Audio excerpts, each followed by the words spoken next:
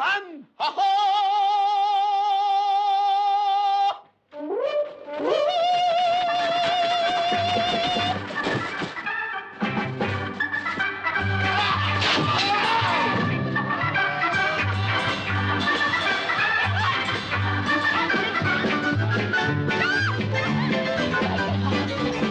Das da ist jetzt unsere einzige Rettung.